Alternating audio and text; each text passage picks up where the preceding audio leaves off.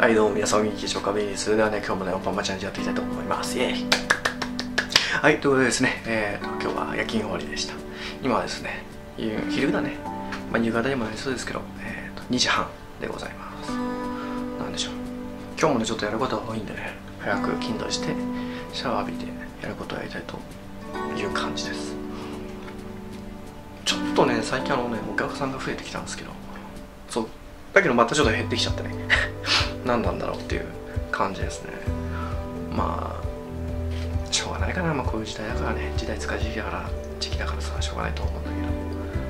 まあねどっちもどっちですね。いない方が楽なんであれなんですけど。でもやっぱりいないいると来るとねわまた来たかみたいな昔の感じ。っていうのがねちょっとなんか蘇るというかあ懐かしいなっていう思いがねするんで何とも言えないんですけど。うん。まあ早くねコロナーが終わってほしいです。まあ終わんなそうだよねもうね。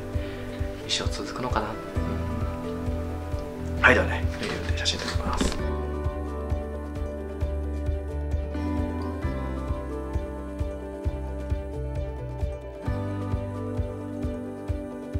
はいでは筋トレしてます。そうそうあのねまだねパウパウに行ってないんですよ。あの前言ってた魚がね見える場所なんだけど。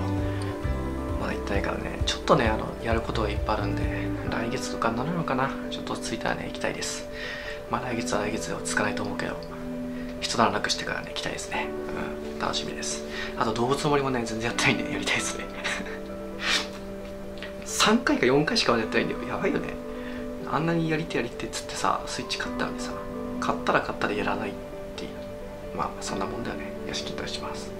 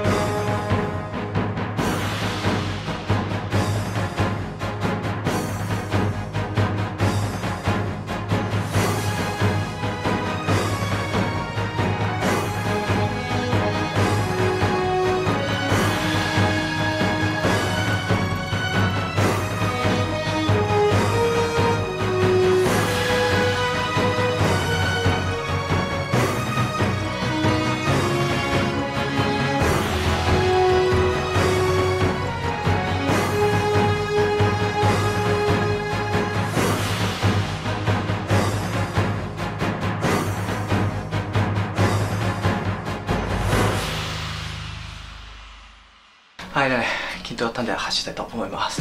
なんですけど 今日ね仕事でさ左足膝痛めちゃってさ忘れてましたね。すごいね。スクワットがやりにくい痛くてよしじゃあ走ります。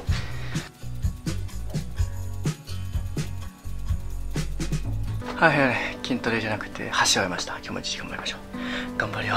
暑いね汗がやばいね。バイバイ。